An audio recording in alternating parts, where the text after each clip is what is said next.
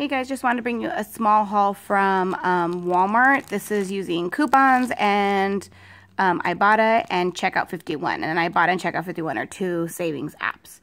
So the Cottonelle wipes, these are 224 because um, they're not in the container. So they're, they're a little bit cheaper. These are 224 On coupons.com, there's a dollar off coupon. And there's also a dollar off coupon. I believe it was in 4.9 Red Plum. Um, so you would pay a dollar 24 per pack. And then on, um,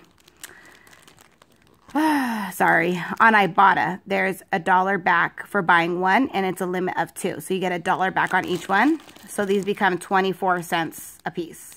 Pretty cool deal. Um, the Yoplait yogurts are $3.98 regular price. There's a dollar off printable coupon on coupons.com. So you pay $2.98 out of pocket. And on Ibotta, you get 75 cents back. So this 8-pack is $2.23 or 27 cents a yogurt, which is a good deal. Yoplait is the one we really like.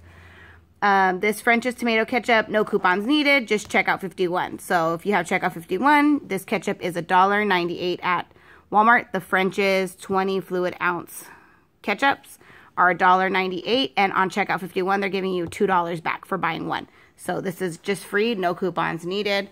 Um, um, as always, in the description box, I will leave the Ibotta link. If you don't have Ibotta, you can join my team and you get an extra $10 for these two. These are a really good deal even if you don't have the coupons and you just want to use Ibotta. They come out to $1.24 a piece, which is still a really good deal considering these things can really add up and be expensive.